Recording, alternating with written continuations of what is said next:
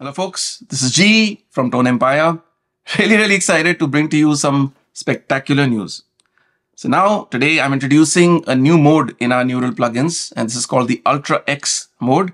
As the name suggests, this is basically a new mode which is equivalent to about eight times oversampling regular algorithm plugins and then improving aliasing tremendously, especially for higher frequencies and foldbacks that occur. Now, how does this work really? Well, it's not really like oversampling that is used in, you know, regular algorithm plugins. Since we have models, these are trained at very high sampling rates.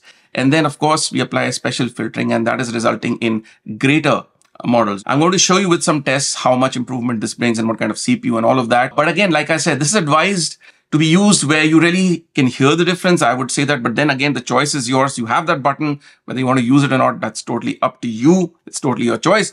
But what I'm trying to say here is that I listen to you guys. We listen to feedback. We listen to criticisms. I always respond and always try to improve. So here's an example of us listening to you and bring something that you guys dearly, dearly wanted. I'm really excited to hear what you guys think once you try this mode and see the improvement in results. All right. So here we are. Uh, to make this test, we've basically got three things. One is a test tone sine oscillator. Then after that in chain, we've got our APX351 with the ultra mode.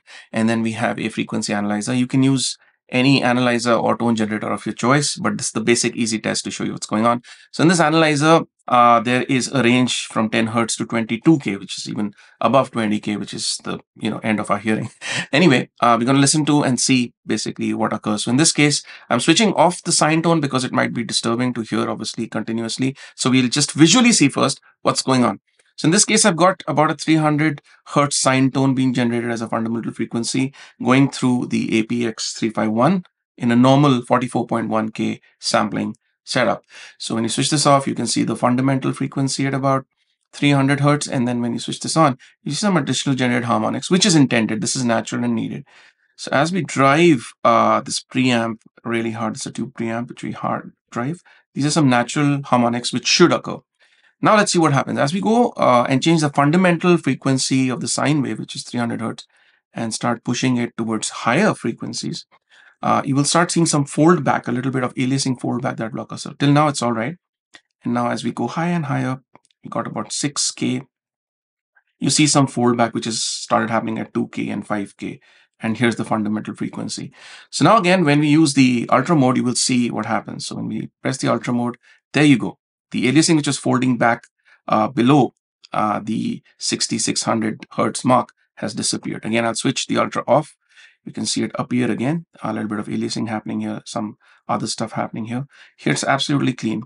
In fact, uh, the one uh, peak that you see here above 22K, that is not relevant because that's above audible range. Anyway, so that's how much it cleans up. So again, if you drive it further and further and further, you will see that the aliasing still stays clean.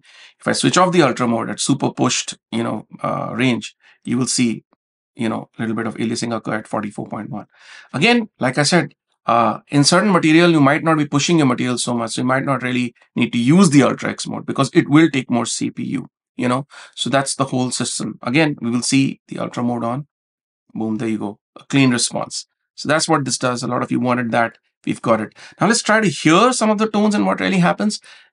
Just to let you know beforehand, this is not what happens in a real world situation. You're not mixing with sine tones.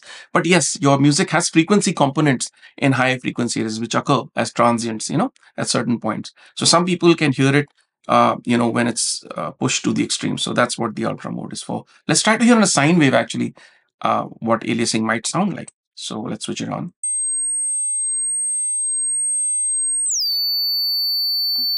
Okay. So here a particular sound, let's switch off the process and hear it, right? And as I push it forward,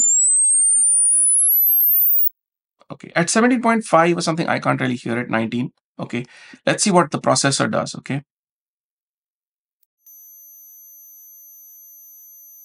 See, when this is on, it's, you're still hearing, that is the aliasing tone you're hearing. And then let's see what happens in Ultra X mode. It's gone. so it's cleaned up the aliasing. With aliasing in extreme situations, extreme high frequencies, without it. So yeah, this works really, really well.